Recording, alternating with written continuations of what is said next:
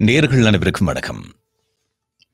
மீண்டும் மற்றொரு கருத்தாடல் நிகழ்ச்சியின் மூலமாக உங்கள் அனைவரையும் சந்திக்கின்றோம். இன்றைய கருத்தாடல் நிகழ்ச்சியில் நேற்றைய தினம் அக்டோபர் இருபத்தி ஓராம் தேதி இரண்டாயிரத்தி இருபதாம் ஆண்டு பிரித்தானியாவில் வழங்கப்பட்டிருக்கக்கூடிய ஒரு மிக பிரதானமான தீர்ப்பு தொடர்பில் பேசிக்கொள்ளவிருக்கிறோம் தமிழர் விடுதலை புலிகள் அமைப்பின் மீது பிரித்தானியாவில் தொடரக்கூடிய தடை என்பதற்கான காரணம் என்பது பொருத்தமற்றது. ஏற்புடையது அல்ல என்ற ஒரு தீர்ப்பை தடைகள் செய்யப்பட்ட அமைப்புகள் விவகாரங்களை கையாளுகின்ற மேன்முறையீட்டு ஆணையகம் நேற்றைய தினம் தீர்ப்பாக வழங்கியிருக்கிறது. இது ஒரு சர்வதேச முக்கியத்துவம் வாய்ந்த தீர்ப்பாக பார்க்கப்படுகிறது. உலக தமிழர்களால் கணிசமானவர்களால் கொண்டாடப்படுகின்ற ஒரு தீர்ப்பாக பார்க்கப்படுகிறது. இலங்கை அரசு பொறுத்த வரையில் இது அவர்களுக்கு வெறுப்புக்குரிய ஒரு தீர்ப்பாக அமையவில்லை. அவர்கள் இது தொடர்பாக கண்டனங்களை முன்வைத்திருக்கிறார்கள். விமர்சனங்களை முன்வைத்திருக்கிறார்கள். இருந்த போதிலும் கூட இலங்கையிலே மூன்று தசாப்த காலங்களுக்கு மேற்பட்ட விடுதலை போராட்டத்தை வழிநடத்திய தமிழர் விடுதலை புலிகள் அமைப்பை உலக மட்டத்திலே பல நாடுகள் பயங்கரவாத அமைப்பாக தடை செய்திருக்கின்றன. இதிலே ஒரு காலத்தில் உலகத்தை ஆண்ட சூரியன் அஸ்தமிக்காத தேசம் என்று பார்க்கப்பட்டு முன்னைய நாள் வல்லரசாக விளங்கிய பிரித்தானியாவில் விதிக்கப்பட்ட தடை என்பது மேற்குலக நிலைப்பாடுகளிலே ஒரு முன்னோடியாக பார்க்கப்பட்டது. அதன் பிடரான காலப்போர்களிலேயும் ஐரோப்பிய வலயத்தில் ஐரோப்பிய ஒன்றியத்திலேயும் தமிழர் விடுதலை புலிகள் அமைப்பின் மீதான தடைகள் வருவதற்கான பின்னணியாகவும் அவை அமைந்திருக்கின்றன. ஒட்டுமொத்தமாக முப்பதுக்கும் மேற்பட்ட நாடுகள் தமிழர் விடுதலை புலிகளை சமகாலத்திலே தடை செய்திருக்கக்கூடிய இந்த காலகட்டத்தில் தான் அவர்கள் மீதான தடைக்கான காரணம் ஏற்புடையது அல்ல என்று ஒரு முக்கியமான தீர்ப்பை. இந்த தீர்ப்பாயம் அல்லது மேன்முறையீட்டு ஆணையகம் வழங்கியிருக்கிறது. நாடு கடந்த தமிழக அரசாங்கத்தின் சார்பாக முன்வைக்கப்பட்ட மேன்முறையீட்டின் அடிப்படையிலே இந்த தீர்ப்பு வழங்கப்பட்டிருக்கிறது. ஆகவே இது தொடர்பாக நாங்கள் இன்றைய நிகழ்ச்சியிலே தெளிவை பெற்றுக்கொள்ளும் முகமாக நாடு கடந்த தமிழக அரசாங்கத்தினுடைய பிரதமர் விஸ்வநாதன் ருத்தகுமாரன் அவர்களை இன்றைய நிகழ்ச்சியிலே இணைத்துக் கொண்டிருக்கிறோம். அமெரிக்காவில் இருந்து எங்களோட காணொலி மூலமாக இணைந்து கொண்டு எங்களுடைய கேள்விகளுக்கு அவர் பதில்களை வழங்கவிருக்கிறார். இது தொடர்பாக வெளிவந்திருக்கக்கூடிய செய்திகளின் அடிப்படையில் ஒவ்வொருவரும் தங்களுடைய புரிதலுக்கு அமைவாக இந்த தீர்ப்பை பார்க்கிறார்கள். தமிழர் விடுதலை புலிகள் அமைப்பின் மீதான தடை பிரித்தானியாவில் நீக்கப்பட்டு விட்டது என்று ஒரு தரப்பும் இல்லை.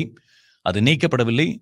தடையை நீடிப்பதற்கான காரணம் தவறானது என்பதைத்தான் இந்த ஆணையகம் தெரிவித்திருக்கிறது. இன்னமும் கடக்க வேண்டிய பாதைகள் நிறையவே இருக்கின்றன தடைகள் நிறையவே இருக்கின்றன என்ற கருத்தை முன்வைக்கின்றவர்கள் இருக்கிறார்கள்.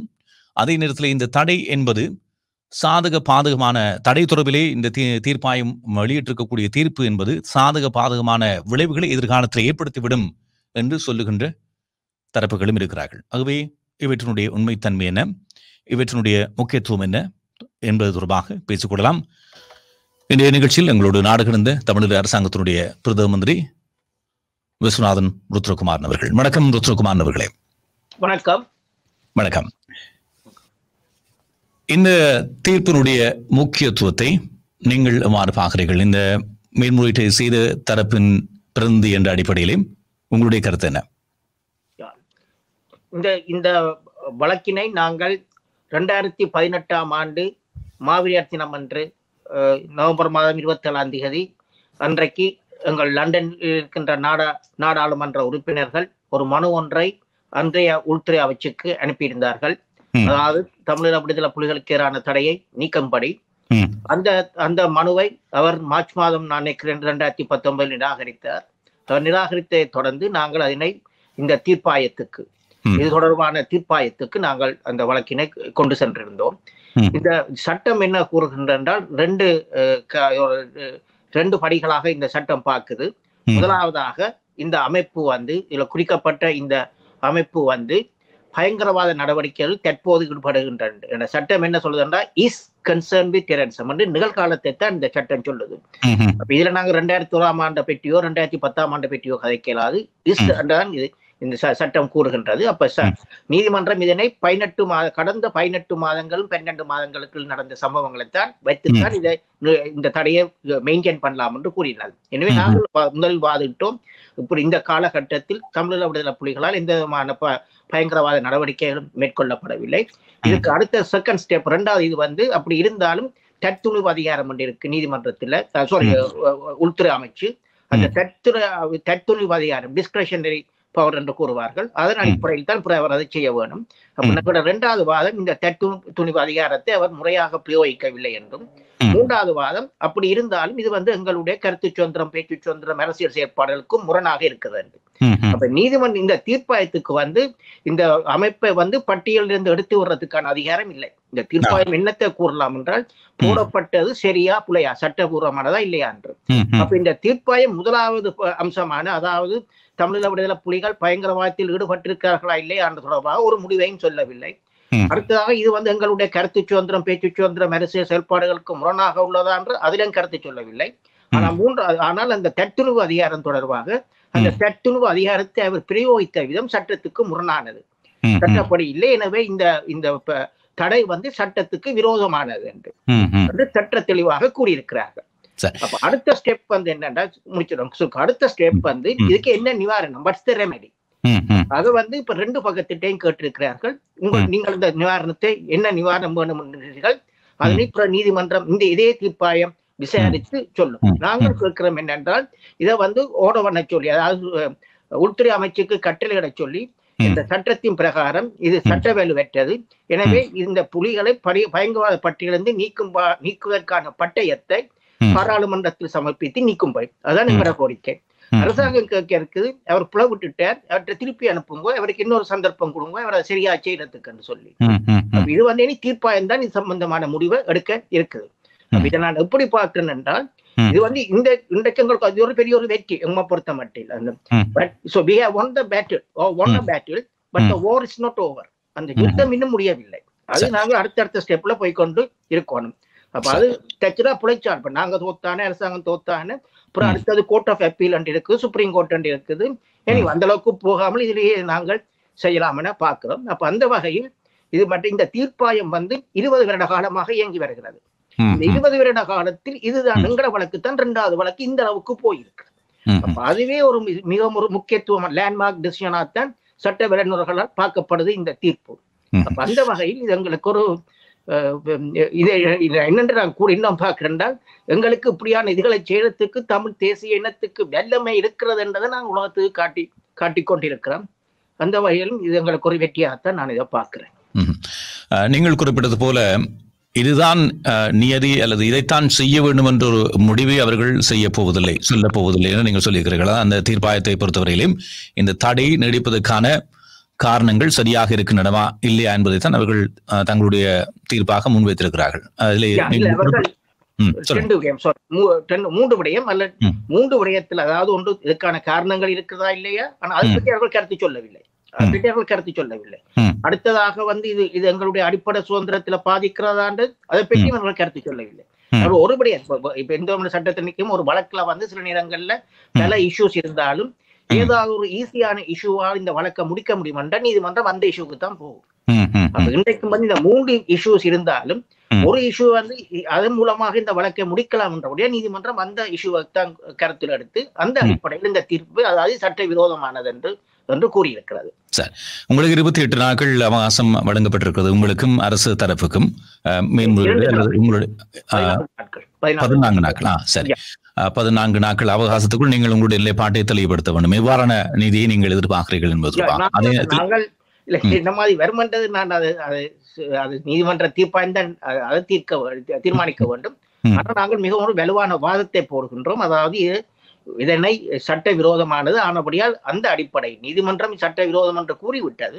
அந்த அடிப்படையில் இதை உடனடியாக பட்டியலிருந்து எடுக்கும்படி. அதுதான் என்கிற வாதமாக இருக்க போது இதிலே இதிலே பொதுவாக இந்த கருத்தியல் தளத்திலும் அல்லது சாமானியர்கள் மட்டத்திலும் விவாதிக்கப்படுகின்ற அல்லது புரிதலின் அடிப்படையிலான அந்த கேள்வியை முன்வைக்கிறேன். ஆகவே பலருக்கு அது தெளிவை ஏற்படுத்தும் என்று நம்புகிறோம் இதிலே இரண்டு தெரிவுகள் இருக்கின்றன. ஒன்று பிரித்தானிய அரசு உள்துறை அமைச்சு இந்த தீர்ப்பின் அடிப்படையிலே தடையை நீக்க வேண்டும். நீக்க வேண்டும் என்று உத்தரவிடுவது அல்லது கேட்டுக்கொள்வது.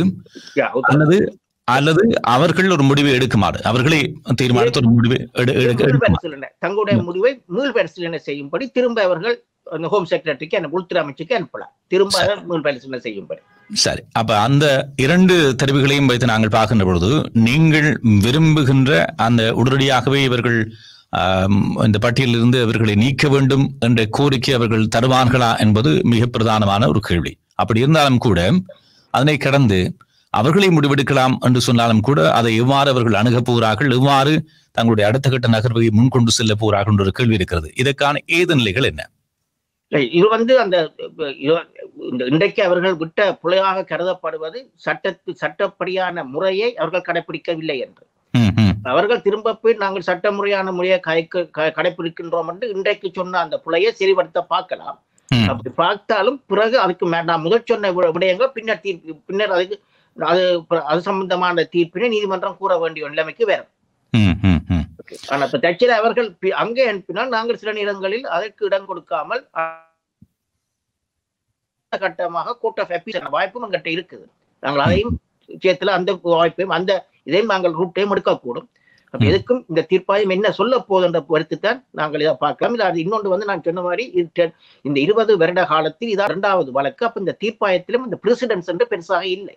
வழக்கமா எந்த ஒரு நீதிமன்றத்திலும் உங்களுக்கு தெரியுமானியமா இந்த வழக்குகளுக்கு முன்னால் நடந்த வழக்குகள் ம். அடிப்படை கொண்ட இதுல அப்படிக்கான வழக்குகள் இல்ல. நாங்களாம் இந்த வழக்குகள் இந்த பிரசிடென்ஸை நாங்களாம் செட் செட் பண்றோம். அதுல நாங்க பெருமைப்பட வேண்டும்.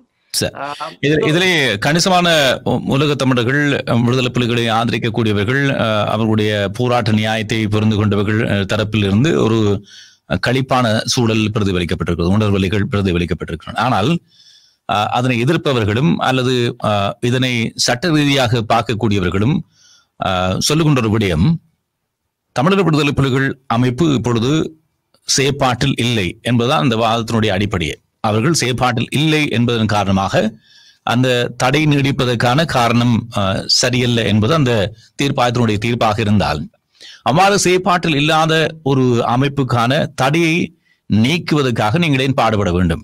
அல்லது இந்த தடையை செயற்பாட்டில் இல்லாத ஒரு அமைப்பின் மீதான தடை நீக்கப்படுவதால் என்ன நன்மை தமிழர்களுக்கு வரப்போகிறது என்பதுதான் கேள்வி. அதுக்கு உங்களுடைய பதில் என்ன? இது முதலாவதாக ஒன்று. இப்ப நாங்கள் அந்த செயற்பாட்டு இல்லை என்று கூறினாலும் பிரித்தானிய அரசாங்கம் வந்து வாதாடுகிறது அங்க செயற்பாட்டில் இருக்கிறார்கள் என்று.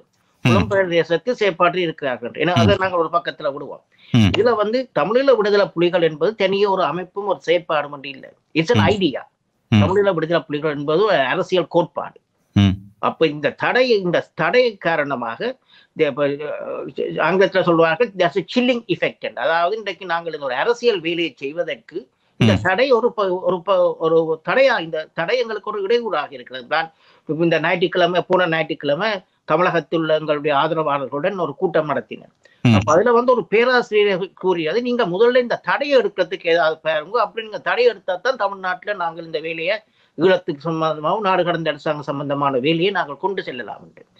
இதுல வந்து இப்ப தமிழீழ விடுதலை புலிகளை நீங்கள் குறுகிய ஒரு அமைப்பாகவோ ஒரு செயற்பாட்டு தளமாக பார்க்கப்பட இன்றைக்கு எங்களோட தமிழீழ விடுதலை புலிகள் தம் தேசியத்தின் ஒரு பிரதிபிம்பமாக எங்களுடைய அரசியல் பெருவிருப்புன்ற ஒரு பிரதிபிம்பமாக இட்ஸ் இட் இஸ் ஐடியா. அந்த அளவுக்கு இன்றைக்கு நாங்கள் எங்கள் ஆன்மாவுடன் ஊறி இருக்கு எனவே இந்த தடையை எடுப்பது இன்றைக்கு பல பேர் இப்ப இந்த புலிகளுக்கு போட்ட தடையை. பலர் தவறாக புரிந்து கொண்டு தமிழீழத்துக்கான தடை என்று நிற்கிறார்கள் அது புல ம், ம். ஆனா அப்படியான ஒரு ஒரு தவறான புரிந்துணர்வு இருக்குது அப்ப இந்த தடையை நாங்கள் எடுத்து விட்டோம் என்றால். அந்த இதெல்லாம் எங்களோட முக்கியமான வாதம் இந்தியாவிலும் நாங்கள் இந்த வழக்கை செய்து கொண்டிருக்கிறோம். இந்தியாவிலும் எங்களோட முக்கியமான வாதம் இங்கேயும் வாதம்.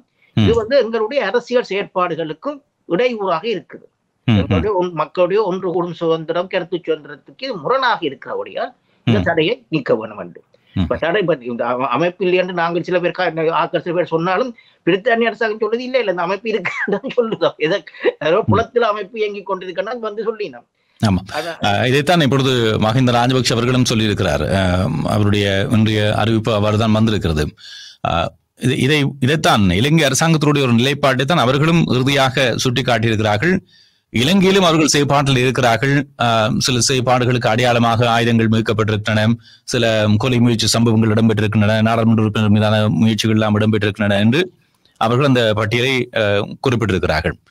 அதே நேரத்திலே புலம்பெயர்ந்த தளத்திலே இவர்களுடைய செயற்பாடு இருக்கிறது. அதில் மிக பிரதானமாக சொல்லப்பட்ட ஒரு விடயம். தமிழர் விடுதலை புலிகள் அமைப்பில் இருந்து அவர்கள் சார்பாக தங்களுடைய அமைப்பு கலைக்கப்பட்டு விட்டது என்று எந்த சந்தர்ப்பத்திலும் குறிப்பிடப்படவில்லை. என்று கூறப்பட்டுள்ளது.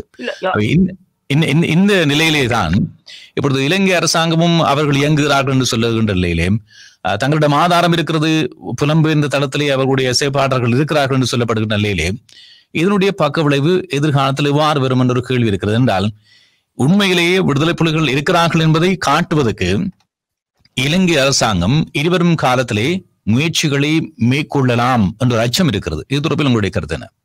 இல்ல, இதில் முக்கியமான ஒரு கருத்து இதில் நாங்கள் இந்த வழக்குல இந்த நாங்கள் இந்த வாத பிரதிவாதங்களை போடக்கு நான் இதுல மிகவும் கவனமாக இருந்தது. நாங்கள் ஒரு பொழுதும் நாங்கள் நிலப்பாடு எடுக்கவில்லை. தமிழீழ விட புலிகள் இல்லை என்று. தமிழீழ விடுதலை புலிகள் இன்றும் இருக்கிறார்கள். எங்கள். இதயங்கள் இல்ல.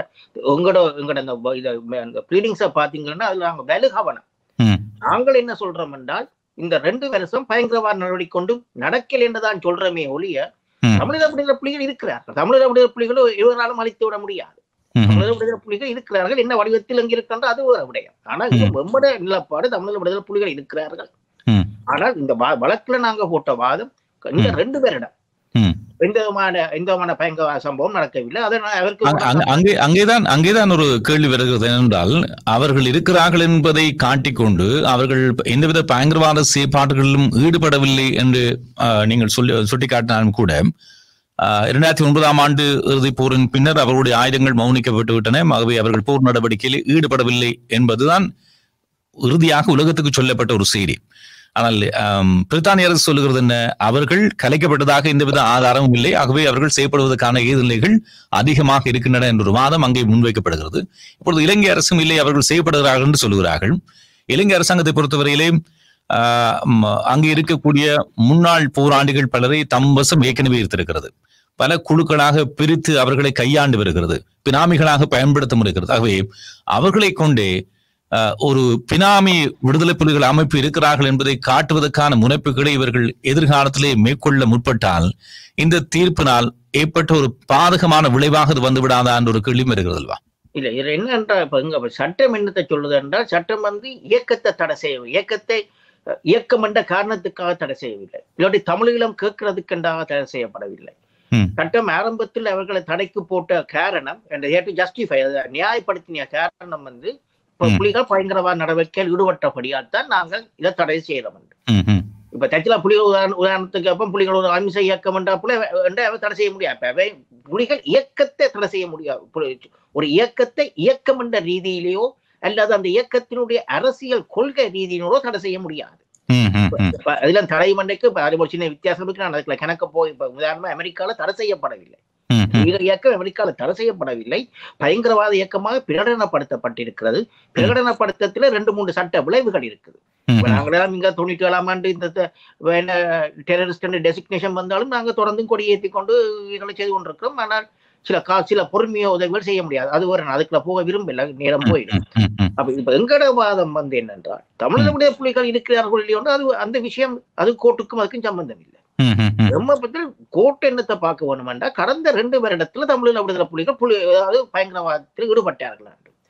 அரசாங்கம் வந்து என்னத்தை சொல்லணும் சும்மா விசர்க்காரங்களை சொல்லுது. நீங்க பார்த்திருப்பீங்கள் ஒட்டி சுட்டான்ல ஒரு ஜீப்புக்குள்ள போய்க்க கொடியையும் துவக்கையும் பிடிச்சது. ஒன்று ஒரு பத்திரிகையில வந்த கட்டுரையை வச்சுதான் ம், அந்த அதே கட்டுரையில போட்டிருக்கு. நீங்க சொன்ன மாதிரி அவர்கள் வந்து டபுள் ஏஜென்ட்ஸாகவும் இருக்கக்கூடும். அதே கட்டுரையில அதையும் போட்டிருக்கு. அப்ப பிறகு ஒரு வந்து சொன்னார்கள் என்னென்றால் ரெண்டாயிரத்தி பதினெட்டு நவம்பர் மாதம் மட்டக்களப்புல போலீஸ்காரரை சுட்டது தமிழீழ விடுதலை. அப்புறம் அதே அரசாங்கம் புற சொல்லு ஓ தாங்க புல விட்டுட்டோம் அது சுட்டது வந்து இஸ்லாமியர் தமிழர். அப்ப இப்படிப்பட்ட அப்ப எம்ம பொறுத்த ஈ- மட்டும் வலுவான காரணம் ஈ- ஈஸ்டர் ஈஸ்டர் குண்டுவெடிப்புக்கும் அவர்களான் பொறுப்பு தான் ஆரம்பத்திலே என்ன உலகத்துல எங்க அந்த செய்திகளை வைத்து தான் எனக்கு நல்ல நாம இருக்கு இப்ப என்ன இப்போ அந்த கோல் நான் ரெண்டாயிரத்தி இந்த கோல் கப்பல் அடிபட்ட அந்த நேரத்துல நான் ரெண்டாயிரத்தி ஒன்று ரெண்டாயிரத்தி ரெண்டு அங்க. யமன் கிட்ட அந்த நேரத்திலே முன்ன சொன்னவர்கள் இந்த யமன்ல வந்து அந்த கோல் அமெரிக்காண்ட கப்பல் அடிச்சது புலிகளான்னு தான் சொன்னது. அந்த நேரத்தில். உலகத்துல எங்க ஒரு திறமான ஏதாவது ஏதாவது ஒரு சில நட- நடவடிக்கை நடந்தா எங்கள் மேல பழியா போடுறது ஒரு வழமையா போய்விட்டது. இதைத்தான் அஹ், பழமொழியில சொல்வார்கள். அரண்டவனுக்கு அரண்டவன் கண்ணுக்கு ரெண்டுதெல்லாம் பெய்யண்டு அஹ், இதிலே இப்பொழுது இருக்கக்கூடிய அடுத்த நிலை இப்பொழுது நான் அந்த பாதகத்தன்மைகள் இதை வைத்துக்கொண்டு அரசாங்கம் என்ன விளையாட்டை விளையாடப் போகிறது என்பதுதான் இப்பொழுது இருக்கக்கூடிய கேள்வி. என்றால் அதை எதிர்கொள்வதற்கு தமிழர் தரப்பு தயாராக இருக்கிறதா என்ற ஒரு கேள்வியும் சட்ட ரீதியாக அதை எதிர்கொள்வதற்கு தயாராக இருக்கிறதா என்ற ஒரு கேள்வியும் மிக பிரதானமாக இருக்கிறது. அதனை கடந்து இப்பொழுது நீங்கள் சொன்னீர்கள் இது ஒரு படிநிலை. பதினான்கு நாட்களுக்குள் உங்களுடைய நிலைப்பாட்டையும் அரசாங்கத்தினுடைய நிலைப்பாட்டையும் அவர்கள் அறிவிக்க வேண்டும் என்றால் அதற்கு பின்னர் அவருடைய முடிவு அறிவிக்கப்படுவதற்கான கால அவகாசம் கால எல்லை எவ்வாறு இருக்கும்? அதனுடைய படிநிலை என்ன? இல்ல, நாங்கள் எதிர்பார்க்கிறோம் ஒரு ஐந்து ஆறு கிழமைக்குள். நாங்கள் ரெண்டு கிழமைக்குள்ள ரெண்டு பக்கமும் கொடுத்தால் ஒரு ஐந்து ஆறு கிழமையில தீர்ப்பாயம் தன்னுடைய தீர்ப்பை சொல்லும் அதாவது உத்தரவு போடுமா பாராளுமன்றத்துல கொண்டு லிஸ்ட்ல இருந்து எடுக்க சொல்லி இல்லாட்டி திரும்ப ஒரு சந்தர்ப்பம் உள்துறை அமைச்சுக்கு கொடுக்குமான்றது ஒரு அஞ்சாறு கிழமையில சொல்லும் என்று நாங்கள் எதிர்பார்க்கிறோம் அப்ப அடுத்த இல்ல இன்னொன்றை நான் வலியுறுத்த விரும்புறேன் இப்ப இது வந்து நாங்கள் இப்ப நான் கூட சட்டத்தினுடைய நாங்க. சும்மா வழக்க போட்டு கொண்டிருக்கிறோம் இல்ல இது. வந்து இன்றைக்கு தமிழ் மக்களுடைய விடுதலை போராட்டம். ஒரு நீதிக்கு நீதிக்கான போராட்டத்தின் வடிவத்துல தான் போகுது. இன்றைக்கு எங்கட இந்த போராட்டம் இந்த சட்ட போராட்டம் எங்கட விடுதலை போராட்டத்தை நாங்கள் இந்த ஒரு வடிவத்துல கொண்டு போறோமே ஒழிய. சும்மாவே நீதிமன்றத்துல லோயர் ரெண்டபடியா வழக்க போட்டு கொண்டு நின்று நாங்க காலத்தை வீணாக்கல நாங்க இதை. செய்யறதுக்கு அடிப்படை காரணம். இப்ப எங்களுடைய எந்த ஒரு நீங்க நாடு கடந்த தமிழ் அரசாங்கத்தின் எந்த நடவடிக்கை எடுத்து பார்த்தாலும் பொறுப்பு குரல்ல கூட நாங்கள். அனைத்துலக நீதிமன்றம் மற்ற தனிப்பட்ட நபரில் ஸ்ரீலங்கா தேசத்தை குற்றவாளி கூண்டுல போடும். அதுக்கு எல்லாம் உங்களோட ஒவ்வொரு நடவடிக்கைக்கு பின்னாலும் ஒரு அரசியல் பரிமாணம் இருக்கு. இந்த இதை நாங்கள் அப்படித்தான் பார்க்கிறோம் இதுல வந்து இப்ப இன்றைக்கு இந்தியால போட்ட வழக்கிலையும் இங்க யூகேல போட்ட வழக்கிலையும் அரசாங்கம் வந்து வாதாடுது இது நாடு கடந்த அரசாங்கம் ரெண்டு நாட்டுல செய்யப்படுறதுக்கு அவைக்கு ஒரு தடையும் இல்லை அவையே இந்த வழக்க போடினும் அவைக்கு இதால ஒரு பாதிப்பும் இல்லை என்று. ரெண்டு இடத்துல மதான் அரசாங்கம் வந்து சொல்லு அவைக்கு ம், அவைக்கு ம். இயங்கலாம் அவைக்கு என்னத்துக்கு இந்த ம். நாங்கள் ஒரு அரசியல் பரிமாணம் இருக்குது தமிழ்ல ம். கோரிக்கை இருக்குது அடியில. அதுலதான் நாங்கள் இதுகளை செய்து கொண்டு போறோம் சார். நீங்கள் இறுதியாக சொன்ன அந்த விடயம் தான் என்னுடைய கேள்வியாகவும் கூட இருந்தது. இது பிரித்தானியாவில் இப்பொழுது ஒரு கட்டத்தை நீங்கள் எட்டியிருக்கிறீர்கள். இதே போன்ற தடை நீக்கத்துக்கான நீங்கள் சொல்லுகிறீர்கள் விடுதலை புலிகள் அமைப்பின் மீதான தடை என்பது அவர்களை ஒரு ப- பயங்கரவாதிகளாக அடையாளப்படுத்துவதூடாக தமிழுடைய அரசியல் உரிமை போராட்டத்தை கொச்சைப்படுத்துவதாக அமைந்துவிட்டது. அரசியல் செயல்பாட்டையும் முன்னெடுக்க முடியாத ஒரு அஹ், நிலைமை ஏற்பட்டிருக்கிறது. விடுதலை புலிகள் அமைப்பு என்பது ஒரு கோட்பாட்டினுடைய வடிவம் என்பது உங்களுடைய வாதம். அப்படியாக இருந்தால் இணைய நாடுகள் அமெரிக்கா இந்தியா ஐரோப்பிய நாடுகள் ஐரோப்பிய ஒன்றியத்தில் இருக்கக்கூடிய நாடுகள் என்று முப்பதுக்கும் மேற்பட்ட நாடுகளிலே இந்த தடை இருக்கிறது அதை அகற்றுவதற்கு நீக்குவதற்கு உங்கள் தரப்பில் எடுக்கப்பட்டிருக்கக்கூடிய நடவடிக்கைகள் என்ன ஓகே முதலாவது இப்ப இந்த இந்த இந்த தடையை எடுப்பது வந்து பயங்கரவாதம் இந்த இந்த முத்திரையை நாங்க நீக்குவது வந்து உங்களோட ஒன்று உங்களோட அரசியல் போராட்டத்துக்கு முக்கியம். அது நேற்று இன்றைக்கு ஸ்ரீலங்கா ரெண்டாயிரத்தி ஒன்பதாம் ஆண்டு செய்த இன அழிப்பை நியாயப்படுத்துது என்னண்டு பயங்கரவாதத்துக்கு எதிரான போராட்டம் ம். இன்றைக்கு நடக்கின்ற கட்டமைப்பு இனப்படுகொலையை என்னென்று நியாயப்படுத்துது? பயங்கரவாதத்துக்கு எதிரான போர். தியாகி திலீபண்ட நினைவ நிப்பாட்டுது. என்ன காரணம் சொல்லுது? பயங்கரவாதம். அப்ப இந்த. இந்த பயங்கரவாத இந்த முத்திரையை நாங்கள் நீக்க வேணும் அது நேற்று இது வந்து எங்களுக்கு ஸ்டிக்மடைஸ் ஸ்டிக்மடைஸ் எங்களோட தமிழ் மக்களை இயக்கத்தை எங்களை அப்ப இது நாங்க அப்ப அதுல ஒரு நாங்க உறுதியா அது ஒரு முக்கியமான காரணம் அடுத்தது. வருங்கால சந்ததிக்கு. சரித்திரத்துல சரித்திரத்துல இந்த மாதிரி போக போகுது நாளைக்கு அப்ப இதெல்லாம் இதெல்லாம் கவனத்தில் எடுத்தா நாங்க இந்த வழக்கை செய்யலாம் அப்ப. இந்தியாவில நாங்க இந்த வழக்கை செய்து நாங்கள். நாளைக்கு நாங்க அந்த இந்தியாவில மனு போட்டு கிட்டத்தட்ட பத்து மாசத்துக்கு மேலே இருக்கும் அப்ப அதுல வந்து நாடு கடந்த அரசாங்கம் பதில நாங்கள் செய்த நாங்கள். அப்ப அதுல வந்து இதே கருத்து சொலிசி இந்தியன் சொலிசிட்டர் ஜெனரல் வந்து நீதிமன்றத்துல வாதாடினார் அந்த நீதிமன்றத்துல அதாவது த- த- நாடு கடந்த அரசாங்கம் இயங்குறதுக்கு ஒரு தடையும் இல்லை. ம். புலிகளுக்கு தான் தடை இவைக்கு போய் சட்டத்துல ஒரு கோட்பாடு ஒன்று இருக்கு. சொல்றது ஸ்டாண்டிங் என்று சொல்லுவார்கள். அதாவது ஒரு வழக்க யாரும் இப்ப லண்டன்ல அவ்வளவுக்கு அந்த கோட்பாடு இல்லை. அதுல ஸ்டாண்டிங் எல்லாம் பேரும் போடலாம். இந்தியா அமெரிக்கால ஒரு இஷ்யூ இருக்கு. ஸ்டாண்டிங் என்று கூறுவார்கள். அதாவது இந்த தடையால் பாதிக்கப்பட்டவர்கள். இல்லாட்டி இந்த. தடை தடை உறுப்பின் தடை அமைப்பின் உறுப்பினர். இந்தியால அவர்கள் என்ன சொன்ன அந்த கீழ் நீதிமன்றம் நாங்கள் பாதிக்கப்படவில்லை என்று சொல்லி எங்களோட வழக்கை தள்ளி விட்டது என்ன டிஸ்மிஸ் பண்ணார்கள். நாங்கள் இப்ப அந்த இஷ்யூவை ஸ்டாண்டிங் இஷ்யூவை மேல் முறையீட்டு நீதிமன்றத்துக்கு கொண்டு செல்றதுக்கான ஆயத்தங்களை செய்கிறோம். அதே நேரத்துல இந்தியாவுல இந்த தடையின் தடையை சொல்லி ஜெயிலில் போட்ட மறியல்ல போட்ட சில தமிழீழ விடுதலை புலிகள் உறுப்பினர்களையும் சேர்த்து கொண்டு இந்த வழக்கை நாங்க தொடர்ந்து செய்ய இருக்கிறோம். அதாவது இந்த தடையால் இந்த தடையை சொல்லி மறியலுக்குள்ள போட்ட இந்திய சிறையில இந்த தடையை சொல்லி இந்தியாவில இருந்து க- நாடு கடத்தப்பட்ட ஆட்கள். அவர்களையும் இந்த சேர்த்துக் கொண்டு நாங்க இந்த வழக்கை தொடர்ந்து செய்ய இருக்கிறோம். ரெண்டு அடுத்து இப்போ ஒரு ரெண்டு பக்கத்தால நாங்க இந்தியாவில் ஓடிக்கொண்டிருக்கிறோம். ஒன்று வந்து எங்களுக்கு ஸ்டாண்டிங் இருக்கு. ஏன்டா எங்களுடைய அரசியல் செயற்பாட்டை பாதிக்குது. அது அது எங்களுக்கு போடும் அடுத்தது இதில் உண்மையாக ஜெயிலுக்கு போன அவர்களை வச்சு இதை செய்யலாம். ஐரோப்பிய ஒன்றத்திலே வந்து இப்ப ஐரோப்பிய ஒன்றத்துல சில தனிப்பட்ட நபர்களால் நெதர்லாந்துல வழக்கு போடப்பட்டது. ஐரோப்பிய ஒன்றத்துல தடை எதிராக. அப்ப அந்த சட்டத்தரணிகளோடும் எங்கட சட்டத்தரணிகளும் நாங்களும் ஒன்றாக சேர்ந்தான் இயங்குறோம். அப்ப அவர்களுடைய அந்த ஐரோப்பிய சட்ட வழக்கு சட்டத்தரணிகளுடைய கருத்து ஏதாவது ஒரு நாட்டுல இந்த வழக்கு முழுசாக நடந்து உடைஞ்சால். அது ஆட்டோமேட்டிக்கா ஐரோப்பிய யூனியத்திலே அந்த வழக்கு உடையும். ஐரோப்பிய அப்ப அவர்கள் வந்து தங்களோட வழக்கை ஓரளவுக்கு நிறுத்தி விட்டு வழக்கு முடியும் மட்டும் அதை பின் போட்டு வைத்திருக்கிறார்கள் இந்த வழக்கில் அவர்களுக்கு ஓரளவுக்கு நம்பிக்கை எங்களுக்கு இந்த வழக்கை தொடங்க வழக்கில் வெல்லுவோம்ன்ற ஒரு நம்பிக்கை எங்களுக்கு இருந்தது. இப்பவும் இருக்குது. அப்ப அவர்களும் அப்ப ஐரோப்பிய சட்டத்திறனிகளும் ஐரோப்பா அந்த வழக்கை சேர்ந்த சட்டத்திறனிகளும் நாங்களும் கதைச்சு அப்ப அந்த வழக்கை கொஞ்சம் பின்னுக்கு போட்டுருக்கிறோம். எக்ஸ்பெடைட் பண்ண இல்ல.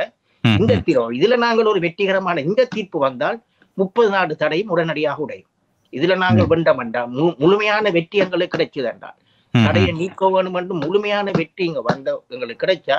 முப்பது ஐரோப்பிய ஒன்றியத்தில் அத்தனை தடையும் தானாக உடையும். ஆனால் இப்பொழுது ஐரோப்பிய ஒன்றியத்திலிருந்து பிரித்தானியா விலகிவிட்டது ஆகவே அந்த பிரித்தானியாவில் எடுக்கப்படுகின்ற முடிவு என்பது ஐரோப்பிய ஒன்றியத்திலே அமல்படுத்தப்படும் என்ற ஒரு நிலையிலே தானே. இல்ல இல்ல ஆட்டோமேட்டிக்கா இங்க அடுத்தவையாண்டு இல்ல. ஆனால் இந்த காரணத்தை இப்ப போன முறை இவ்வளவு நாளும் ஐரோப்பிய ஒன்றியத்துல தடைக்கு மிக முக்கிய காரணமா இருந்தது பிரித்தானிய தடை. முதலில் வந்து அதிலும் வந்து அந்த சாட்சியங்கள் பிழை என்று சொல்லி தடை நீக்கப்பட்டது. உடனே பிரித்தானியா இல்ல எங்கிட்ட நல்ல சாட்சியம் இருக்குன்னு சொல்லி அந்த தடையை கொண்டு வந்தது. அப்ப அப்ப என்ன ஐரோப்பிய ஒன்றியம் என்னத்தை பாக்குதுன்னா ஏதாவது ஒரு நாட்டுல அட்லீஸ்ட் ஐரோப்பிய ஒன்றியத்தில் இருந்து ஏதாவது ஒரு நாட்டுல இந்த ஒரு இந்த இந்த பிரச்சனை எழுப்பப்பட்டு முழுமையாக விவாதிக்கப்பட்டு நீதிமன்றம் தீர்ப்பு கொடுத்தது. நீதிமன்றம் அது தவறு என்று சொன்னால். அது வந்து உதவும் இப்போ நீங்க சொன்ன மாதிரி உடன் it's not it doesn't have binding effect. கட்டுப்படுத்தாது. ஆனால் மிகவும் ஒரு என்ன சொல்ற எஃபெக்ட் என்று கூறுவார்கள். மிகவும். அந்த அடிப்படையில் அந்த வழக்கர் உடையும் என்றுதான். அந்த அடிப்படையில் நீவின் ஐரோப்பிய ஒன்றியத்தில் அந்த வழக்கறிஞர் கூட இந்த வழக்குக்காக பொறுத்து கொண்டிருக்கிறார்கள் தற்சமயம். அமெரிக்காவை பொறுத்தவரையிலே நிலைப்பாடு என்ன ஏனென்றால் ஐரோப்பிய ஒன்றியத்திலோ பிரித்தானியாவில் எடுக்கப்படுகின்ற விடயங்களை அமெரிக்கா கருத்தில் எடுக்கும் என்று நாங்கள் சொல்ல முடியாது. அவை அதிலும் நீங்கள் வசிக்கக்கூடிய ஒரு நாடு. அங்கே நிலவரம் அவ்வாறு இருக்கு. இங்க இந்த பிரச்சனைகளுக்கு ஆரம்பத்துல இந்த ஸ்டாண்டிங் பிரச்சனை. வழக்கே நம்ம அமெரிக்கால வந்து வழக்கு அந்த இப்ப லண்டன்ல இந்த வழக்கு சேர்த்துக்கு எங்களுக்கு கூட வசதியா இருந்தது. அமெரிக்கால இந்த வழக்க போறதுக்கு ஒரு காலக்கேடு வைத்திருக்கிறார்கள் அதாவது ஒவ்வொரு முறையும் அது புதுப்பிக்கப்படும் பொழுது அது. புதுப்பிக்கப்பட்டு முப்பது நாளைக்குள்ள அந்த வழக்கு போடணும் ரெண்டு- அந்த ஒரு காலக்கேடு வைத்திருக்கிறார்கள். அடுத்ததாக இந்த வழக்க போடுறவர்கள் வந்து அமைப்புண்ட உறுப்பினராகத்தான் இருக்க வேண்டும் என்று அப்ப. ஆரம்பத்துல நாங்க தொண்ணூற்றி ஏழாம் ஆண்டு முதல் தரம் இந்த இந்த தடை வந்த இந்த பிரகடனம் வந்தபோது நாங்கள் தமிழக விடுதலை புலிகள் திளம்பக்கூடம் சொல்லி நாங்கள் இந்த வழக்கை நடத்தினார்கள். அந்த வழக்கை வந்து அந்த நேரத்தில் அந்த வழக்கின் பிரதிவாதியாக கையெழுத்து போட்டவர் தமிழக விடுதலை புலிகளின் அனைத்துலக பொறுப்பாளர் திரு மெனோகரன் அவர்கள் பிரான்ஸ்ல ம். இருக்கிற மெனோகரன் தான் அதுல இதா தான் அமைப்பு உறுப்பினர். எனவே அந்த அடிப்படையில் நான் இந்த வழக்கை போடுகின்றேன் என்று அப்ப அதற்கு பிறகு ரெண்டாயிரத்தி ஒன்பதுக்கு பிறகு அந்த நிலைமை தற்சமயம் இல்லை அமைப்பு. உறுப்பினர் என்று சொல்லி ஒருவர் வந்து முன் வந்து இந்த வழக்க போடுற நிலைமை தற்சமயம் இருக்கே இல்லை. ஆனா நாங்கள் இப்ப அடுத்த முறை இப்ப நான் இந்த இது வந்த உடனே இங்குள்ள சில சட்டத்தரணிகளுக்கு அனுப்பி இருக்கிறேன் எங்களோட வேலை செய்த சட்டத்தரணிகளுக்கு. நாங்கள் ஏதாவது கிரியேட்டிவ் ஐடியாவாக அமெரிக்காலையும் இந்த இதை கொண்டு வருவதற்கான முயற்சியில ஈடுபட வேண்டும் என்று. அப்ப. நிச்சயம் இந்த முயற்சியில ஈடுபடுவோம். ஆனா இங்க இந்த அமெரிக்காலும் இந்தியாவிலும் இருக்கிற பிரச்சனை இந்த ஸ்டாண்டிங் இஷ்யூ என்ற ஒரு எங்களுக்கு லண்டன்ல இருக்கிற அப்படித்தான் லண்டன்ல ஆமா. உடனே போனாங்கன்னா. ஆமாம். அந்த அந்த உறுப்பினர்கள் சார்ந்து அல்லது பாதிக்கப்பட்டவர்கள் சார்ந்து வழக்கு தொடுப்பதன் காரணமாக இருக்கக்கூடிய அந்த இடையூறுகள் காரணமாக இந்தியாவிலும் அமெரிக்காவிலும் அந்த இடையூறுகள் இருக்கின்றன என்று நீங்கள் சொல்லியிருக்கிறீர்கள். ஆனால் பிரித்தானியாவில் நீங்கள் இந்த அளவுக்கு வந்து விட்டீர்கள். ஏற்கனவே நீங்கள் சொன்னது போல இந்த தடைகள் செய்யப்பட்ட அமைப்பை அமைப்பு விவகாரங்களை கையாளுகின்ற தீர்ப்பாயம் மேன்முறையீட்டு தீர்ப்பாயம் இருபது வருடங்களாக செய்யப்படுகிறது என்றால் இலங்கையிலே போர் முடிவடைந்து பதினோரு ஆண்டுகள் முடிவடைந்து விட்டன. ஆனால் நீங்கள் ஒரு குறுகிய காலத்துக்கு முன்னர் தான் இந்த மேன்முறையீட்டை செய்திருக்கிறீர்கள். ஏன் இவ்வளவு காலம் தாமதமாக நீங்கள் அதை செய்தீர்கள் என்று கேள்வி இருக்கிறது அல்லவா? நிச்சயமாக நிச்சயமாக. பல விடயங்களை எங்களுக்கு என்னென்று சொல்லலாம். அதுக்கு நல்ல காரணம் என்று நான் கூறக்கூடிய காரணம் என்று இல்லை. என்றால். ஒன்று பொருளாதாரத்திலையும் நாங்கள் பொருளாதார பலத்தையும் கட்டியெழுப்ப வேண்டும் எங்களுக்கு இதை செய்வதற்கு. ம், ஆம், அஹ், அப்ப இதை நாங்கள் முதலே செய்திருக்கலாம். அதுல நான் மாற்று கருத்து இல்லை. ஆனால் எங்களுக்கு முதல் இந்த தமிழீழ விடுதலை புலிகண்ட தடையை நீக்குவதற்கான நாலு முயற்சிகள் முதலே நடந்திருக்கின்றன. அதை யார். செய்தாங்கன்னு எனக்கு தெரியாது. அரசாங்கம் தன்னுடைய வாதத்துல வந்து சொல்லி இருக்குது இது வந்து இது வந்து அஞ்சாவது தடவையாக தமிழ் இந்த தடையை நீக்குவதற்கான முயற்சி எடுக்கப்படுதுன்னு சொல்லி. அப்ப முதல் நாளும் இது நடந்திருக்குது. கடைசியாக எடுக்கப்பட்ட முயற்சி ரெண்டாயிரத்தி பதினாலாம் ஆண்டு எடுக்கப்பட்டிருக்குது. இது நான் நினைக்கிறேன் என்ன பொறுத்த மட்டும் தனிநபர்கள் தாங்களாவே இந்த முயற்சி எடுத்திருக்காங்க நான் நினைக்கிறேன். யார் எடுத்துன்னு அந்த அரசாங்கம் கூறவில்லை. ஆனா அவர்கள் தொடங்கி போட்டு கைவிட்டுட்டார்கள். ஒருத்தரும் அந்த அந்த இதை முழுமையாக நாங்க கொண்டு போன அளவுக்கு கொண்டு போகையில ஆரம்பத்துல இந்த மனுவை போட்டு வழக்க போட்டு பிறகு அப்படியே அவர்கள் கைவிட்டார்கள் நாலு தடவை இதற்கு முன்னால் நாலு தடவை அங்கே இதுக்கு இது எடுப்பதற்கான முயற்சிகள் மேற்கொள்ளப்பட்டிருக்கிறன. யார் மேற்கொண்டார்கள் எனக்கு தெரியவில்லை. சரி இதுல இதுல நீங்கள் சொன்ன ஒரு விடயம் அந்த காரணத்தை நீங்கள் தேட வேண்டிய ஒரு நிலைமைக்கு தள்ளப்பட்டிருக்கிறீர்கள் ஏன் இந்த தாமதம் என்பதற்கு அதில் ஒன்று நீங்கள் சொன்னது பொருளாதார சிக்கல் ஒன்று. மற்றது எனக்கு திருப்திகரமாக இல்லை இந்த பதில். சில வேளைகளிலே இவ்வாறான சட்ட நுணுக்கங்கள் சட்ட தெரிவுகள் இருக்கின்றன என்பதை நீங்கள் தாமதமாக அடையாளம் கண்டீர்களோ சட்ட நுணுக்கங்கள் நான் தாமதமாக அடையாளம் கண்டதாக நான் கூற மாட்டேன். ஆக்சுவலி முதல் இந்த- இந்த இந்த தடை வந்த உடனே பிரித்தானியாவுல ரெண்டாயிரத்தி ஓராம் ஆண்டு இந்த தடை வந்தது. தடை வந்த உடனே நான் அதுக்கான சட்ட நடவடிக்கை எடுக்க வேண்டும் என்றத என்ற கருத்தை தான் நான் அன்றை கொண்டிருந்தேன் நான். அப்ப அந்த நேரத்துல இன்னொரு கருத்து இருந்தது நாங்கள் சட்டப்படி பார்க்காமல் நாங்கள் இதை அரசியல் ரீதியாக அணுகுவோம் என்று சொல்லி அப்ப அந்த இப்ப நான் ஒரு சட்டத்திறன் அப்ப அந்த நேரத்துல ரெண்டாயிரத்தி ஓராம் ஆண்டு நான் கனடாவில் சுரேஷ் மாணிக்க வாசத்தின வழக்குல மிக ஈடுபட்டிருந்தேன். நான் தொண்ணூத்தஞ்சு தொண்ணூற்றி ஆறு பிறகு தொண்ணூற்றி ஏழுல அமெரிக்காவில் நடந்த வழக்குல ஈடுபட்டிருந்தேன். அப்ப நான் உடனடியாக ரெண்டாயிரத்தி ஒன்று இந்த வழக்கை செய்வோம்னா நான் கருத்து வச்சிருந்தேன் அந்த நேரத்துல. பிறகு இன்னொரு கருத்து அரசியல் ரீதியாக நான் விட்டுட்டேன் பிறகு. பிறகு பிறகு பேச்சுவார்த்தை ரெண்டாயிரத்தி ஒன்பது இனப்படுகொலை அதெல்லாம் நடந்து பிறகு நாங்கள் நாடு கடந்த அரசாங்கத்தை உருவாக்கி என்னோட வேற நல்ல ஒரு பதில் நான் சொல்ல ஏன் நான் இந்த வழக்கை நாங்கள் ரெண்டாயிரத்தி பதினெட்டுக்கு போடுறதுக்கு பதிலாக ஏன் ரெண்டாயிரத்தி பன்னெண்டுலேயே நாங்கள் போடலை என்ற கேள்விக்கு நல்ல பதில் என்கிட்ட இல்லை. ஆஹ் இல்லை அந்த அந்த விடயத்தை நீங்கள் வெளிப்படையாகவே ஒத்துக்கொண்டுமே மிக அஹ், பாராட்டுக்குரியது. இருந்த போதிலும் இவ்வாறான ஆஹ், விடயங்களிலே பொதுமக்களை பொறுத்தவரையிலே இயல்பான கேள்விகள் வருகின்றன. ஏன் இந்த இவ்வாறு ஒரு சட்ட தெரிவு இருக்கிறது என்றால் இந்த அளவு தாமதம் ஏன் வந்தது? அல்லது ஒரு செயற்பாட்டில் இல்லாத ஒரு இயக்கம் அந்த இயக்கத்தின் மீதான தடையை இப்பொழுது நீக்குவதன் காரணமாக என்ன தேவை இருக்கிறது என்ற கேள்விகள் எல்லாம் சாமானியமாக சாமானிய பொதுமக்கள் மத்தியில் இருக்கக்கூடிய விடயம். இந்த தடை தொடர்பாக வெளிவந்த செய்திகளை தலைப்புச் செய்தியாக மட்டும் படித்துவிட்டு தடைமுற்றாகவே நீ- நீக்கப்பட்டு விட்டது பிரித்தானியாவில் என்று மகிழ்ச்சி கொண்டாடுகின்றவர்களும் இருக்கிறார்கள். அவர்களை திட்டி தீர்க்கின்றவர்களும் இருக்கிறார்கள் என்று பல தரப்பட்டவர்களும் இருக்கிறார்கள். இருக்கின்ற பொழுது இந்த இந்த கேள்விகள் எல்லாம் இயல்பாக வருகின்றன அவர்களுக்கு ஒரு தெளிவு தேவைப்படுகிறது. இப்பொழுது இருக்கக்கூடிய விடயம் என்னவென்றால் இலங்கை அரசை பொறுத்தவரையிலே இது இந்த இந்த வழக்கிலே ஒரு பங்குதாரர் அல்ல. இது பிரித்தானியா எடுத்த முடிவு விடுதலை புலிகளுடைய செயற்பாடுகள் தொடர்பிலே. ஆனால் இப்பொழுது நாங்கள் போதிய ஆதாரங்களை அவர்களுக்கு அனுப்பி வைத்துக் கொண்டிருக்கிறோம். தொடர்ந்தும் அனுப்பி வைப்போம் என்று அறிக்கை விட்டிருக்கிறார்கள். ஆஹ் இலங்கை பிரதம மந்திரி மஹிந்த ராஜபக்ஷ அதனை உத்தியோகபூர்வமாக தெரிவித்திருக்கிறார். இந்த தீர்ப்பின் பின்னர் இலங்கை அரசு உத்தியோகபூர்வமாக ஒரு பங்குதாரராக வரக்கூடிய வாய்ப்பு இருக்கிறதா? அல்லது நேரடியாகவோ மறைமுகமாகவோ இந்த தீர்ப்பு விவகாரத்திலே தலையீடு செய்வதற்கான வாய்ப்பு இருக்கிறதா?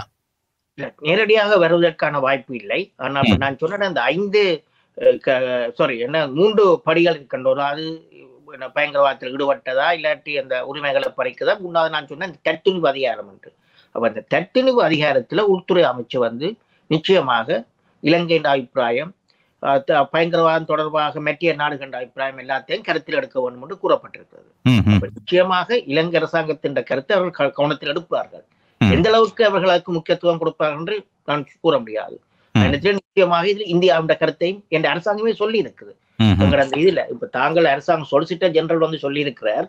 அதாவது இப்படி இந்த இதை செய்யறதால வந்து உலகத்துல பயங்கரவாதத்துக்கு எதிரான போராட்டத்துல பிரித்தானியா எடுக்கிற பங்குக்கு ரோலுக்கு இடையூறாக இருக்கும். இந்தியாவுக்கு பிடிக்காம இருக்கும்ல அவர்கள் வெளிப்படையாக சொல்லி இருக்கிறார்கள் அப்ப இந்த காரணங்கள் எல்லாத்தையும் கருத்துல எடுத்துக்கொண்டுதான் அதுல ஒரு. அஞ்சு ஃபேக்டர் இருக்குது அந்த டிஸ்கஷனரி இதுல எல்லாத்தையும் பேலன்ஸ் பண்ணி எல்லாம் ஒரு பேலன்ஸ் பண்ணி தான் இவர் அந்த முடிவை எடுக்க வேண்டும். நாங்கள் அதுல வாதாரம் இனி அந்த பேலன்ஸ் வந்து எங்கட பக்கம் தான் அது இருக்க என்று சொல்லி என்றா நாங்க என்றா அங்க அங்க ஒரு தடை இதே இல்லை என்று சொல்லி பயங்கரவாத நடவடிக்கையே இல்லை என்று சொல்லி அந்த அடிப்படையில் நாங்க வாதாடுறோம் ஆனா நிச்சயமாக. இலங்கையின் கருத்து இந்தியா அரசின் கருத்து எல்லாத்தையும். உள்துறை அமைச்சு கருத்தை உள்வாங்குவார்கள். அவர் சொல்றதுக்காக செய்வார்கள் என்றால் அது ஒருத்தரும் சொல்ல முடியாது ம், ஆனா அந்த. கருத்துக்களுக்கு நிச்சயமாக அவர்கள் மதிப்பு கொடுப்பார்கள் என்று நான் எதிர்பார்க்கிறேன் ஆஹ் இந்த விடயத்திலே நாடு கடந்த அரசாங்கத்தை பொறுத்தவரையிலே பல நாடுகளிலும் வசிக்கக்கூடிய தமிழர்கள் வசிக்கக்கூடிய நாடுகளெல்லாம் உங்களுடைய கிளை நிறுவனம் கிளை அமைப்பாக அல்லது உங்களுடைய அமைப்பினுடைய செயற்பாடுகள் அமைந்திருக்கின்றன. அதிலே பிரதானமாக கனடாவிலே இருக்கக்கூடிய செயற்பாடுகள் என்று பார்த்தால் இதே கேள்வி கனேடிய தமிழர்கள் மத்தியில் இருக்கிறது. பிரித்தானியாவில் எந்த அளவுக்கு நீங்கள் நகர்வுகளை மேற்கொள்ள முடிந்தால் ஏன் கனடாவில் இவ்வாறான ஒரு செயற்பாட்டை நாடு கடந்த அரசு செய்யவில்லை? அல்லது எந்த அளவுக்கு செய்திருக்கிறது? இது தொடர்பாக என்ன நடவடிக்கை எடுத்திருக்கிறது என்ற ஒரு கேள்வியை முன்வைக்கிறார்கள். அதுக்கு உங்களுடைய பதில் என்ன? நிச்சயமாக. ஒரு சின்ன திருத்தம். இது வந்து கிளை ஒன்று இல்லை. கனடா லண்டன் கிளை என்னுடைய என்னுடைய வார்த்தை தவறுதான். நாடு கடந்த அரசாங்கம் என்று சொல்லுகின்ற பொழுது அது ஒரு பொதுவான அமைப்பை பிரதிபலிக்கிறது.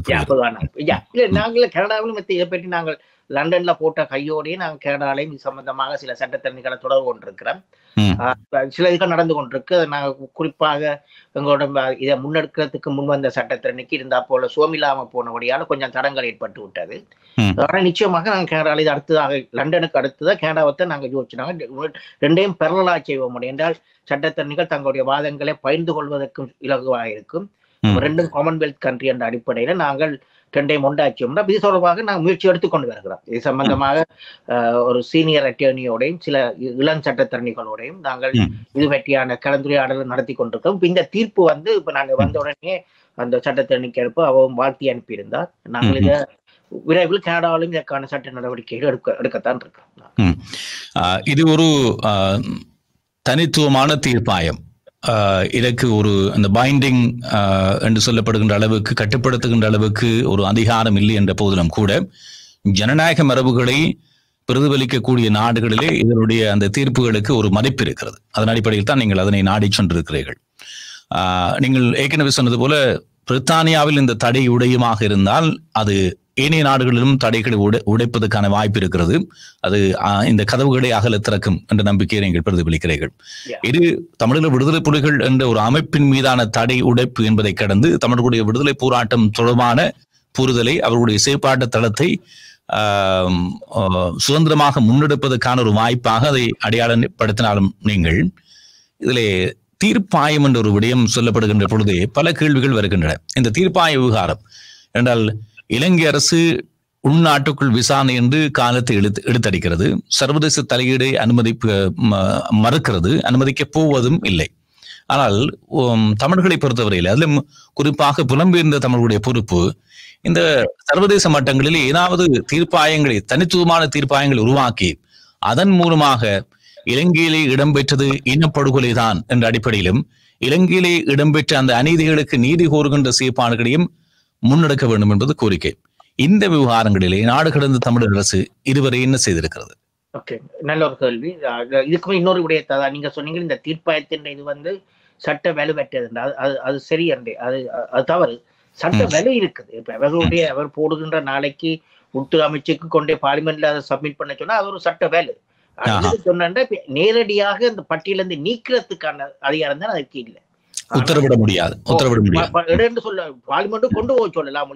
அவை அவையே ஒரு ஓர்டர் போட இல்லாது ரிமூவ் எல்கிடிஎஸ் ரிமூவ் ஃப்ரம் த லிஸ்ட் அப்படி ஓர்டர் போட முடியாது. அவர்களுக்கு அந்த அதிகாரம் இல்லை. ஆனால் இதை பாராளுமன்றத்துக்கு கொண்டு எடுங்கன்னு சொல்ற அளவு அதிகாரம் இருக்குது. அதுதான் நாங்க கேட்கிறோம் செய்ய சொல்லி அப்ப அது ஒரு விடயம். அடுத்ததாக நீங்கள் கூறிய விடயம் இந்த இந்த இனப்படுகொலை இது சம்பந்தமாக நாங்கள் தனிப்பட்ட நீதிமன்றம். ஒன்று நீங்க சொன்னதுல வலுவான ஒரு கருத்து அதாவது இந்த சர்வதேச அரங்குல எங்களுக்கு நீதி கிடைக்கிறது வலு- விடுபட்டு கொண்டு போகுது மனித உரிமை இது வந்து இப்ப இந்த இந்த ரெசல்யூஷன் இந்த மார்ச்சோட முடியுது.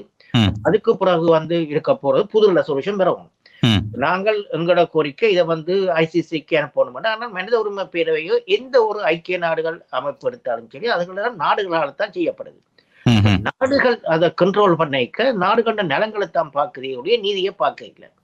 இந்த முறை வந்து இப்ப இப்ப போன இந்த பதிமூன்றாம் தேதி வந்து ஐக்கிய நாடுகள் மனித உரிமை பேரவையில் புதிய உறுப்பினர்கள் தெரிவு செய்யப்பட்டிருக்காங்க சீனா தெரிவு செய்யப்பட்டிருக்குது.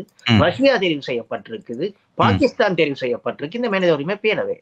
ஒன்பதாம் தேதி எட்டாம் தேதி சீன அதிகாரி ஒருவர் இலங்கைக்கு போய் அங்க உத்தரவாக சொல்லி இருக்கிறார்.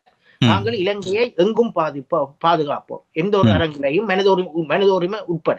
பேரவை உட்பட. அப்ப என்ன பொறுத்த மட்டும் இந்த மனித உரிமை பேரவையால் எங்களுக்கு பெருசாக நடக்க போறது இல்லை. இந்தியும் நடக்கல இப்ப வந்து அது வந்திருக்க நாடுகள் எல்லாம் மனித மனித உரிமைகளை மதிக்கிற நாடுகளாகவும் இல்லை. மற்றும் இந்த சீனா இதுகள் இருக்கக்கூடிய அங்க அதுல பெருசா நடக்க போறது இல்லை. அப்ப நாங்க புதிய களங்களை பார்க்கணும். புதிய தளங்களை திறக்கணும். நீங்கள் ஒன்று சொன்னீங்க நாங்களே இந்த தீ இந்த ஒரு நீதிமன்றங்களை உருவாக்கினால் என்ன? தீர்ப்பாயங்கள். தீர்ப்பா இப்ப நாங்கள் உருவாக்குற தீர்ப்பாயத்துக்கு அதால் என்னத்தை இப்ப நாங்க அடைய போறோம். இப்ப இது வந்து இப்ப இந்த ஒரு கோரிக்கை அம்மே கனடால இருந்து சில பேர் என்னிடம் கேட்டவர்கள். அப்படி நாங்களே சேர்ந்து ஒரு ட்ரைபூனல். அது என்ன பிரச்சனைன்னா இப்ப நாங்க அந்த ஒரு டிரைவ் எடுக்க வந்து இப்ப அந்த நக்கம் வியட்நாம் சண்டையும் போது அமெரிக்காக்கு எதிராக ரசல் ட்ரைபூனல்ஸ் சொல்லி இப்படி இப்படியான நீதிமன்றங்கள் திறக்கப்பட்டன. அப்ப நாங்கள் இதை திறக்க நிச்சயமாக ஸ்ரீலங்கா அதுல பங்கு கொள்ளாது. ஸ்ரீலங்கா பங்கு கொள்ளாம இருக்க ஒருதலை பட்சமான இந்த தீர்ப்பு ஆய- தீர்ப்பு வந்து ஒரு பெரிய உலகத்தால் ஏற்றுக்கொள்ளப்படாது. இல்லை இலங்கை அரசாங்கம் நிச்சயமாக பங்கு கொள்ளாது. ஆனால் ஒரு ஒரு ஜனநாயக உலகத்திலே ஒரு மூன்றாம் தரப்பால் இலங்கையில் இடம்பெற்றது என்ன என்பதை அடையாளப்படுத்துவதற்காக. அது இலங்கை அரசு சொல்லுகிறது பயங்கரவாத போர் தான் நடந்தது என்று சொல்லுகிறது. ஆனால் தமிழர்கள் சொல்லுகிறார்கள் அது இன அழிப்பு என்று சொல்லுகிறார்கள். அதுல எது உண்மை என்பதை ஒரு மூன்றாம் தரப்பு அடையாளப்படுத்துவதற்கான ஒரு குறைந்தபட்ச வாய்ப்பாக அது அமைந்து விடும் அல்லவா? ஒரு சர்வதேச முன்னாள் நீதிபதிகள் ஓய்வு பெற்ற நீதிபதிகள் அல்லது பொதுத்தரப்பாக இருக்கக்கூடிய தரப்பை உள்ளடக்கி அந்த ட்ரைபுனலை உருவாக்குகின்ற பொழுது அவர்கள் சுயாதீனமாக ஒரு விசாரணையை மேற்கொண்டு இப்பொழுது எல்லா அமைப்புகளுமே சாட்சியங்களை பதிவு செய்கின்றன தனித்தனியாக பதிவு செய்கின்றன.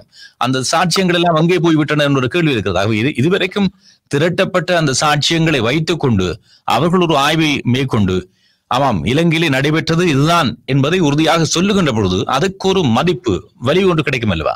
இல்ல இதற்கு முக்கியமான ஒரு விடயம் வந்து என்னென்றால் இப்ப நாங்கள் இப்ப ஓரளவுக்கு ஒன்று வந்து இப்போ எதிரி இல்லாமல் வழக்கை நடத்தும் சில சில நாடுகளில் வழக்கை நடத்துவதில்லை. அவர்கள் ஒத்தி வைப்பார்கள். இப்ப உதாரணத்துக்கு எடுத்தால் பார்த்தால் இந்த ஈராக் பிரச்சனை தொடர்பாக புஷ்ஷுக்கு எதிராக இப்படி தீர்ப்பாயங்கள் அமைக்கப்பட்டன. ஐரோப்பிய நாடுகளில் இந்த இப்படியான தீர்ப்பாயங்கள் இந்த புஷ்ஷுக்கு எதிராக அமைக்கப்பட்டன. ஆனா அது ஒருத்தரும் சீரியஸா எடுக்க இல்லை. அது வந்து இன்றைக்கு இன்றைக்கு உங்களுக்கு நான் சொல்றது நியூஸா இருக்கும். பல பேருக்கு தெரிஞ்சிருக்காது. அந்த தீர்ப்பாயங்கள் வந்து ஒருபொழுதும் அந்த தீர்ப்பாயங்கள் மக்களால் சர்வதேச சமுதாயத்தால் அங்கீகரிக்கப்படலைன்னு முக்கிய காரணம். ஒரு வழக்கண்டைக்கு எதிரியை போட்டுக்கு சில செய்ய வேண்டியதான் ஒரு முக்கியம். ஆனால். நாங்கள் என்ன செய்யலாம் என்றால் இப்போ ஏற்கனவே இருக்கிற தளங்களை அதுலயும் இந்த பிரச்சனை வரும் ஆனால் அது அங்கு உதாரணமா கனடா நீதிமன்றத்துல. அமெரிக்க நீதிமன்றத்துல. இதுகள்ல நாங்கள் இந்த வழக்குகளை போடலாம். அப்ப. ஒன்று வந்து தனிப்பட்ட தனிப்பட்ட ரீதியான வழக்குகளை உலகளாவிய யூனிவர்சல் ஜூரிஸ்டிக்ஷனுக்குள்ள போடலாம். அடுத்து. இன்றைக்கு இந்த இன்டர்நேஷனல் கிரிமினல் கோர்ட் அதுல இருக்கிற சட்டம் வந்து இன்றைக்கு பல நாடுகளில் உள்நாட்டு சட்டமாக்கப்பட்டிருக்கு. இப்ப கனடாவும் எல்லாம் இம்ப்ளிமெண்டிங் லெஜிஸ்லேஷன் என்று இருக்குது. அந்த இன்டர்நேஷனல் கிரிமினல் கோர்ட் அதே குற்றங்கள் கனடாவிலும் உள் உள்குற்றங்களாக இருக்குது. ஒன்று இப்ப கனடாவில் இப்ப நாங்க தனிப்பட்ட ஆளுக்கு இந்த வழக்கை போடுறதுக்கு என்ன பிரச்சனைன்னா ஆட்கள் வரவும் ம். வராம இருக்க. எங்களுக்கு ஆனா இன்னொன்று நாங்க செய்யலாம். ஸ்ரீலங்கா தேசத்துக்கு எதிரான வழக்க போடுவோம் ம், ஸ்ரீலங்கா தேசம் பெற தேவையில்ல. ஸ்ரீலங்கா ப்ராப்பர்ட்டிஸ் எல்லாம் வெளியாட இருக்குது. ஆனா ஸ்ரீலங்கா தேசத்துக்கு வழக்க போடுறதுக்குள்ள தடை வந்து சவரின் இம்யூனிட்டி என்று இறையாண்மையின் அடிப்படையிலான விதி விலக்கம்னு ஒரு சட்ட கோட்பாடு இருக்கு. நாங்க ஒரு ஸ்டேட்டை போய் சும்மா நாங்க சூ ம், ஆனா அப்ப நாங்களும் இப்ப என்ன கேட்கிறோம்னா நாடு கடந்த தமிழக அரசாங்கம் அந்த சட்டத்தை மாத்து. அது மாத்தலாம். இப்ப எங்கட இப்ப நீண்ட நெடிய பட நெடும் நட எங்கட நடந்த கிட்ட அதுல கொண்டு நாங்கள் வைத்த முன்னுக்கு வைத்த முதல் கோரிக்கை. இந்த சட்டத்துல இந்த இந்த இதை மாத்தச் சொல்லி அதாவது இந்த சவரின் ம். இம்யூனிட்டி அதாவது விதி விலக்கு இறையாண்மை விதி விலக்குன்ற கோட்ட கோட்பாடை மாத்தச் சொல்லி அது இட்ஸ் டூவபிள் திங் அது நாங்க. செய்யலாம் ஆக்சுவலி நான் கேள்விப்பட்டது American civil sorry Canadian civil liberties union இந்த முயற்சியில பத்து பதினைந்து இடங்களுக்கு மேல் ஈடுபட்டவர்கள் ஆனா கூட அவர்கள் அதை தொடர்ச்சியாக செய்யவில்லை. அப்ப நாங்களும் இப்ப என்னத்தை செய்ய செய்யறதுக்கு நாங்கள் பார்க்கிறோம் என்றால் மனித உரிமை பேரவே நாங்கள் கை முற்றாக கைவிட இல்லை. ஆனா. கண- என்ன பொறுத்த மட்டும் எனக்கு என்னுடைய தனிப்பட்ட ஒப்பீனியன் அங்க எங்களுக்கு பெருசா ஒன்றும் நடக்க போறது இல்லை. அங்க இருக்கிற நாடுகளும் மனித உரிமை மீறுற நாடுகள். நாங்கள் அது ஒரு அரசியல் களமாகவும் பாவிச்சு கொண்டு தளமாகவும் பாவிச்சு கொண்டு ம். நாங்கள் இப்படிப்படி இந்த சட்டங்கள் இப்ப கனடால தான் நாங்க கூட நாங்க ஃபோக்கஸ் பண்ணிருக்கோம் அங்க கனடால செய்யறதுக்கான வாய்ப்பு இருக்குது ஏன்னா கனடால வந்து முதலே கனடிய மனித உரிமை இதை செய்யறதுக்கு முற்பட்டது. அவர்களோட இணைந்து நாங்க அந்த தடை அந்த சட்டத்தை மாத்தினோம் என்றால் நாங்க ம். ஸ்ரீலங்கா தேசத்துக்கான வழக்குகளை தனிப்பட்ட ஆளு நீங்களே போடலாம் கனடாவுக்குள்ள ஏரும் பாதிக்கப்பட்ட ஏரும் போய் போடலாம் நீங்கள் இப்போ இந்த- ஒரு நாட்டில் இருக்கக்கூடிய அடிப்படை சட்டத்தை மாற்றி அதன் பின்னர் உங்களுடைய நகர்வுகளையும் முன்கொண்டு செல்வது என்பது ஒரு ஆண்டா அல்லது தசாதமா ஒரு பயணமாக இருக்கு ஒரு வருடத்துக்குள்ள செய்யக்கூடிய விடயம் இதுக்கு. நாங்கள் இந்த சட்டத்தை மாத்திரத்துக்கு மூன்று ரெண்டு பங்கு கனடா பார்லிமெண்ட்ல தேவையில்லை. கனடா ஒரு எம்பி இந்த சட்ட மூலத்தை கொடுத்து. ஒரு மெஜாரிட்டி என்ன பொறுத்த மட்டும் நாங்கள் முழுமையான முயற்சி ஒரு ஒரு ஒரு தனி தனிநபர் பிரேரணை மூலமாக செய்யலாம் என்று நீங்கள் சொல்லுகிறீர்கள். என்னண்டு? தனிநபர் பிரேரணையாக முன்வைத்து இந்த சட்டத்தை இது ஒரு இட்ஸ் சிம்பிள் ஒரு சாதாரண லெஜிஸ்லேஷன் இப்ப நாங்க கனடா கான்ஸ்டிடியூஷனை மாத்த சொல்லி கேட்கல ம், இல்லாட்டி ஒரு மூன்று ரெண்டு பங்கு இது சாதாரண ஒரு சிம்பிள் மெஜாரிட்டி.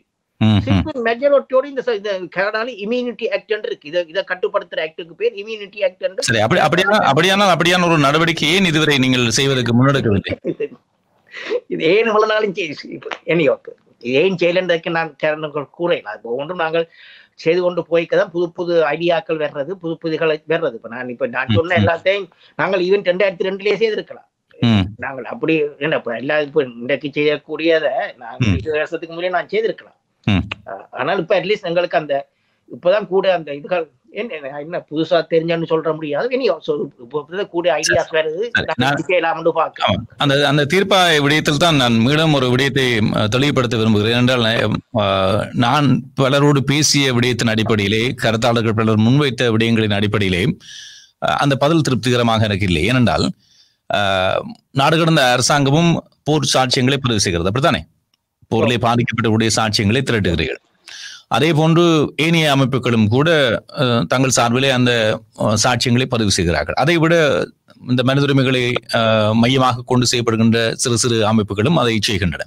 இவையெல்லாம் உதிரிகளாக திரட்டப்பட்டிருக்கின்றன உதிரிகளாக த- ம- ஆனால் இவற்றையெல்லாம் ஒன்று சேர்த்து அதை ஒரு நம்பகத்தன்மை வாய்ந்த ஒரு ஆவணமாக அங்கீகாரம் பெறுவதற்கான ஏதாவது ஒரு பொறிமுறையை நீங்கள் செய்திருக்கிறீர்களா?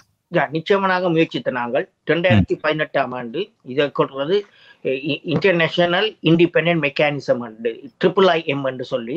சாட்சியங்களை சேகரிப்பதற்கு இப்ப. சிரியாவுல இது வந்து சிரியாவுல இந்த சிரியாவிலும் பிரச்சனை உங்களுக்கு தெரியும் சிரியாவையும் ஐசிசிக்கு கொண்டு போவதற்கு கஷ்டமா இருக்குது ஏனென்றால் சைனா ரஷ்யா வீட்டோ அப்போ. பாரு அப்போ ஐக்கிய நாடுகள் பொதுச்சபை ஒரு தீர்மானம் எடுத்தது ட்ரிபிள் ஐ எம் என்று சொல்றது இதை இந்த. சாட்சியங்களை பேணுவதற்கான ஒரு பொறிமுறையை ஐக்கிய நாடுகள் சபையே உருவாக்குற மாதிரி. ரெண்டாயிரத்தி பதினெட்டாம் ஆண்டு நான் நினைக்கிறேன் செப்டம்பர் மாதம் சிறிசேனா இங்க வந்த பொழுது யுஎனுக்கு வந்த பொழுது. நாங்கள் இந்த ஒரு பிரேரணையை ஐக்கிய நாடுகள் ஜெனரல் அசம்பிளிக்கு நாங்கள் செய்த நாங்கள். அதே நேரத்தில் இதை இப்ப எங்களுக்கு இதை செய்தவர்ல முக்கியமானவர் ப்ரொஃபசர் குரூம் என்றவர் அவர் வந்து ஐக்கிய நாடுகள் சபையில அந்த யூகோஸ்லாவியா நீதிமன்றத்துல பிரதம பிரதம பிரதம பிரதம வழக்கு தொடர்ந்தராக க- பணியாற்றியவர் அவர்தான் இந்த முயற்சிக்கு எங்களுக்கு பின்னால் இருந்து மிகவும் உதவி செய்தவர் அப்ப. நாங்கள் ஈவன் ஒரு டிராஃப்ட் ரெசல்யூஷனே செய்த நாங்கள். டிராஃப்ட் ரெசல்யூஷனையும் செய்து பொ பொதுச்சபையில் இருக்கிற அத்தனை உறுப்பினர்களுக்கும் அனுப்பினாங்கள் அனுப்பி இப்படி ஒரு பொறுமுறையை கொண்டு வாருங்கள் என்று. இப்படி ஒரு ஆனால் ஒன்று நாங்கள் செய்த வேலை பத்தாது. நாங்கள் கடிதம் மொழி போட்டிருக்கிறதால நடக்காது. கூட ம். லொபிங் செய்திருக்கணும் செய்ய இப்பவும் செய்யலாம். இப்போ இப்ப நாங்கள் செய்து நாங்கள் மனித ஜெனரல் அசம்பிளிக்கு கொடுத்து ஒரு கிழமைக்கு பின்னால மனித உரிமை பேரவை இதே பொறிமுறையை ரோஹிங்கா மக்கள் தொடர்பாக கொண்டு வந்தது.